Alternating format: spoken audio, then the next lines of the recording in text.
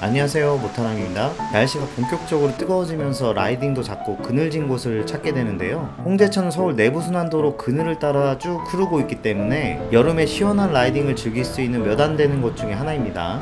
이런 홍제천을 달리다 보면 아주 커다란 물소리가 나기 시작하는데요. 이곳이 바로 서대문구의 자랑 홍제천 인공폭포입니다. 서울 도심 내에서 인공폭포 볼 수 있는 곳이 몇 군데 있긴 한데 홍제폭포만큼 규모가 크고 자연스러운 모습을 갖추고 있는 곳이 없는 것 같아요 그래서 서대문구 주민들뿐만 아니라 먼 곳에서도 일부러 찾아오는 명소가 되었습니다. 저처럼 개인 자전거를 타거나 따릉이를 타고 올 수도 있고 자가용을 갖고 오셔도 이렇게 주차장이 잘 되어 있습니다. 물론 대중교통으로도 오실 수 있어서 접근성은 정말 최고인 것 같습니다. 홍제폭포에서 빼놓을 수 없는 게 카페인데요. 이름도 아주 대놓고 직설적으로 카페 폭포입니다. 이곳은 개인이 운영하는 곳이 아니고 서대문구에서 운영하는 것으로 알고 있는데요. 그래서 수익금도 좋은 곳에 쓰인다고 합니다. 계산은 키 오스크 사용하시면 되고 아메리카노가 4,000원이었던 것 같습니다. 간단한 베이커리와 다양한 음료도 있으니까 구매하시면 되는데 이곳 이용할 때 꿀팁 하나 드리면 이곳은 개인이 아니고 서대문구에서 직영으로 운영하고 있기 때문에 외부 음식이나 음료가 반입이 가능하다는 겁니다. 그러니까 자리가 있으면 눈치 보지 마시고 편안하게 이용하시면 됩니다. 이런 실내 명당 자리는 쉽게 내주지 않기 때문에 실내에 자리가 없으면 밖에 나오시면 훨씬 더 많은 좌석이 있으니까 과감하게 그냥 밖으로 나오시면 됩니다. 바깥 좌석은 도로 및 그늘에 아주 길게 데크로 된 테라스를 만들어 놨습니다.